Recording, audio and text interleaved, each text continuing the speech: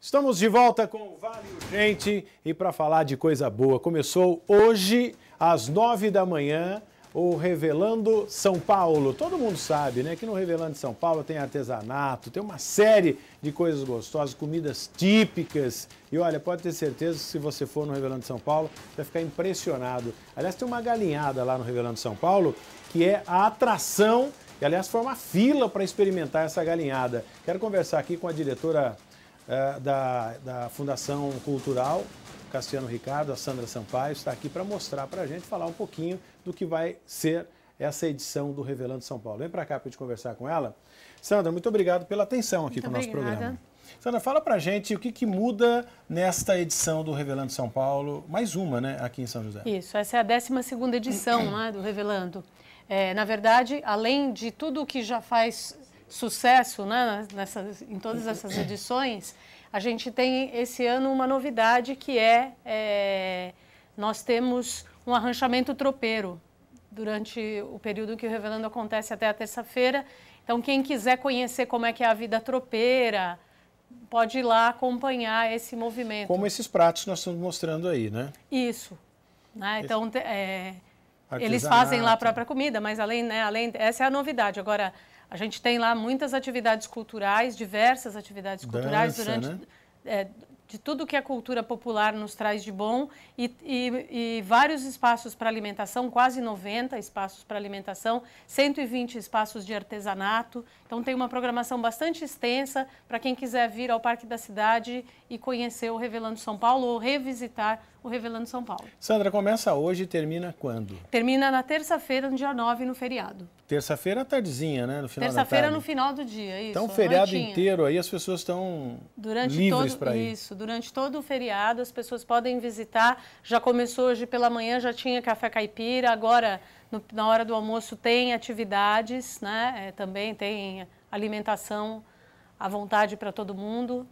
Então, é isso. Eu acho que é legal, né, as pessoas irem, quem puder ir mais cedo, né, vai mais cedo, porque lá lota, gente. Eu não é a primeira vez, eu vou no Revelando São Paulo e não é a primeira vez que eu vou e lá enche. Então, vai mais cedo, né, para arrumar um estacionamento. Lá tem um estacionamento amplo, né, Sandra? Isso. Além do estacionamento do parque da cidade, que é grande, né, e do acesso ali ao espaço da Fundação Cultural, tem também disponível o espaço do CEF, o espaço da educação, que estará disponível para o Revelando São Paulo nesses dias.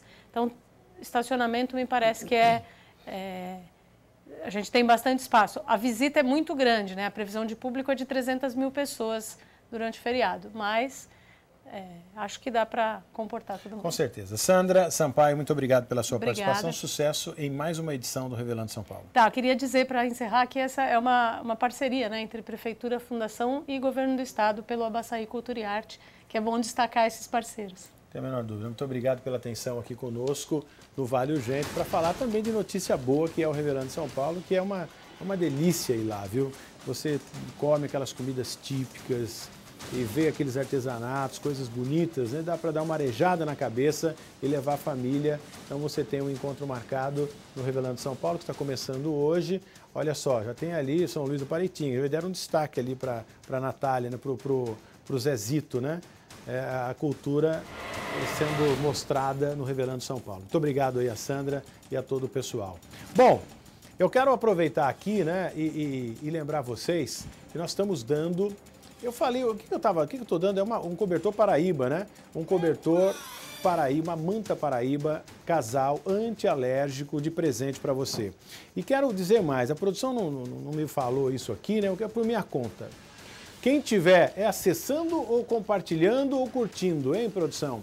É, compartilhando. Quem estiver compartilhando a nossa página do Facebook vai estar ganhando um boné.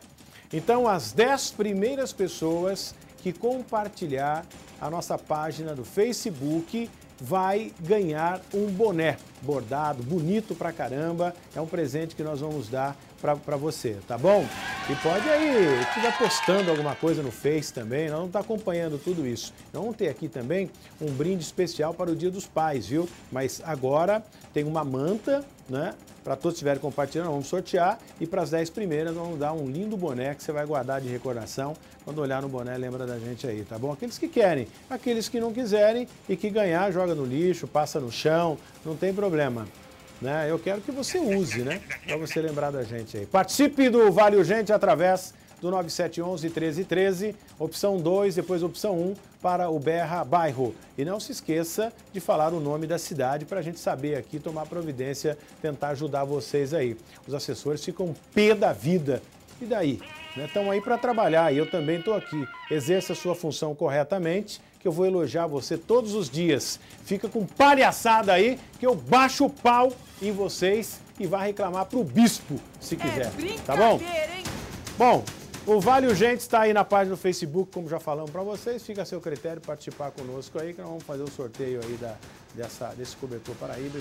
Hoje é sexta-feira, eu não poderia deixar de lembrar vocês do, do final de semana com temperatura bastante baixa. Então você que vai subir a serra e vai para Campos do Jordão, leva bastante agasalho, porque a temperatura ó, vai despencar. Dá um tempinho aí que eu volto já já, depois do intervalo.